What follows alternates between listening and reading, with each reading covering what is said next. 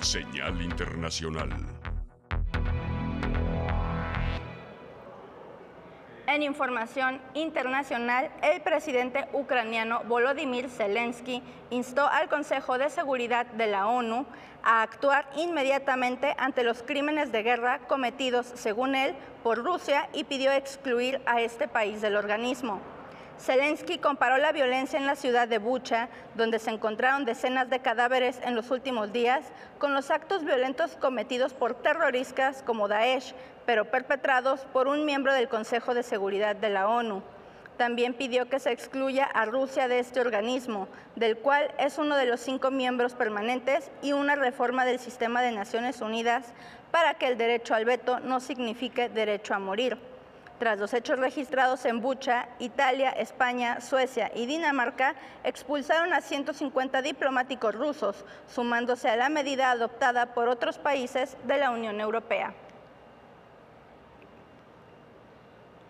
La Comisión Europea propuso un quinto paquete de sanciones a Moscú por la invasión de Ucrania, que incluye la prohibición de importar carbón de Rusia. Ya está sobre la mesa el nuevo paquete de sanciones europeas contra Rusia y por primera vez afectará al sector energético. A pesar de que Rusia pedía sanciones más duras, Ursula von der Leyen no llegará a Kiev con las manos vacías.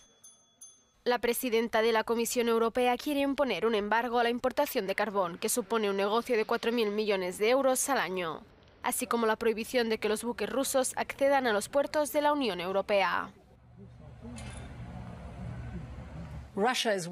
Rusia está librando una guerra cruel y despiadada, no solo contra las valientes tropas de Ucrania, sino también contra su población civil. Es importante mantener la máxima presión sobre Putin y el gobierno ruso en este momento crítico. Este nuevo paquete, que aún debe ser aprobado por los Estados miembros, también prohíbe las exportaciones a sectores vulnerables en Rusia y limita las actividades bancarias pero no toca uno de los temas más sensibles, el gas. Países como Austria y Alemania están en contra de prohibir sus importaciones, pero los países bálticos piden seguir presionando. Creo que deberíamos reducir las compras a Rusia de petróleo, gas y carbón. Lituania es el primer país de la Unión Europea en decir adiós al gas ruso. Ya nos negamos a comprar gas de Rusia. Y creo que estamos dando un buen ejemplo a todos los países europeos de que es posible.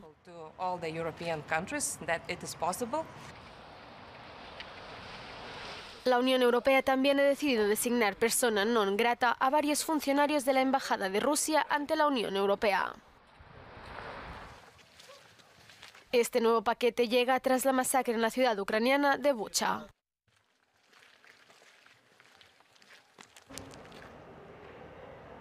Afirma el secretario general de la OTAN que Rusia avanza para tomar todo el control de Donbass. Los cadáveres en las calles de Bucha, a unos 25 kilómetros de Kiev, son la muestra de una masacre mayor denunciada por el gobierno ucraniano. Rusia responde que solo es una escenificación posterior a su abandono de la localidad, algo que contradicen las imágenes de satélite de la agencia Maxar grabadas hace semanas que muestran cadáveres en las calles mientras la ciudad estaba ocupada por el ejército ruso. El secretario general de la OTAN, Jens Stoltenberg, reclamó un tribunal ante el que los hechos sean juzgados. Tener como objetivo asesinar a civiles es un crimen de guerra. Deben establecerse todos los hechos y todos los responsables de estas atrocidades deben ser llevados ante la justicia. La OTAN coincide con Ucrania en que las tropas rusas se están concentrando para una gran ofensiva en la zona del Donbass. Según el parte diario del Ministerio de Defensa ruso, sus fuerzas han atacado un centro de entrenamiento de las fuerzas ucranianas y varios depósitos de combustible. Las tropas ucranianas retoman el control de ciudades como Borodianka, de la que se han retirado los rusos. El presidente ucraniano Volodymyr Zelensky advirtió que podría haber otras masacres aún peores que la de Bucha. Citó a la ciudad de Mariupol, que sigue sitiada Mykolaiv, ciudad clave en la ruta hacia Odessa, teme ser la siguiente en la lista del Kremlin. Por ahora resiste pagando un alto precio en infraestructuras y vidas. Para Rusia es esencial para evitar que Ucrania recupere Gerson.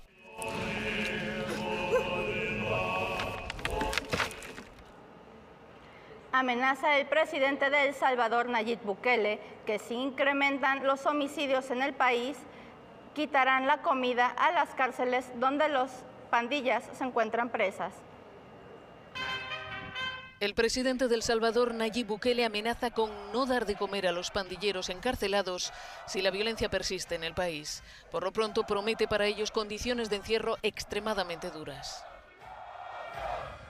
En un total tenemos 22.000 pandilleros, a los que los tenemos sin colchonetas, durmiendo en el suelo, hacinados, con dos tiempos de comida. Y en condiciones que estoy seguro que ninguno de los pandilleros que, están afuera quieren ir a tener adentro. Y es importante que sepan que si se tratan de pasar de vivos, vamos a bajar de dos tiempos a cero tiempos de comida. Y vamos a ver cuánto tiempo dura. ¿Quién iba a pensar que los que se actaban de tener el control y de tener el poder en nuestro país ahora se esconden como ratas, literalmente? No lo digo como ofensa, para las ratas, por supuesto. Bukele, que hizo estas declaraciones durante un acto de graduación de militares, acusó a los pandilleros de ser el brazo armado de las organizaciones humanitarias, la comunidad internacional y partidos opositores. También dijo que no le importa lo que digan los organismos internacionales. El Salvador lleva desde el 27 de marzo bajo régimen de excepción, tras una escalada de asesinatos que se cobró la vida de más de 80 personas. El Congreso suspendió a petición del presidente derechos constitucionales, como el derecho a la defensa o la inviolabilidad de las telecomunicaciones. Al mismo tiempo, las fuerzas de seguridad han realizado detenciones masivas, capturando más de 5.700 presuntos pandilleros en una guerra sin cuartel contra las maras. La Oficina de la ONU para los Derechos Humanos ha expresado su preocupación por lo que está ocurriendo en El Salvador. Acusa a las autoridades de estar haciendo un uso innecesario y excesivo de la fuerza y se hace eco de denuncias de tratos crueles, inhumanos o degradantes.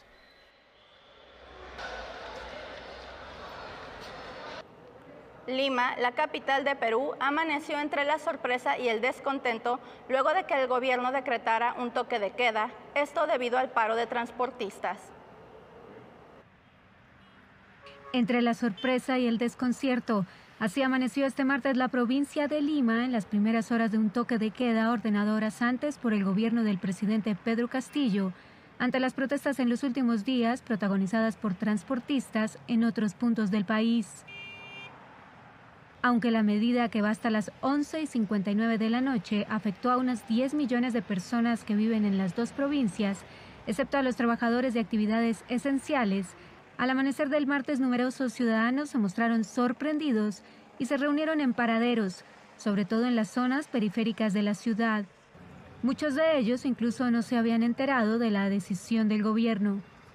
La carretera central, la principal autopista que une a Lima con el centro del país, que fue bloqueada el lunes en algunos tramos por manifestantes, también lucía desierta y con personas esperando la eventual aparición de algún medio de transporte.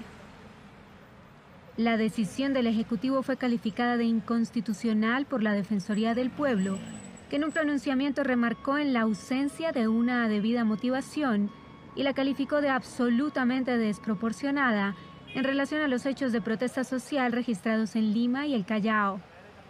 El anuncio fue hecho en medio de una ola de rumores en redes sociales sobre posibles manifestaciones y saqueos en Lima, tras la paralización que cumplen desde hace una semana los transportistas por el incremento de precios de los combustibles. Durante estas protestas han fallecido cuatro personas por circunstancias derivadas de los bloqueos, mientras que al menos otras 20 han sido detenidas. Josefina José Ángel, hasta aquí la información. Regreso con ustedes al estudio.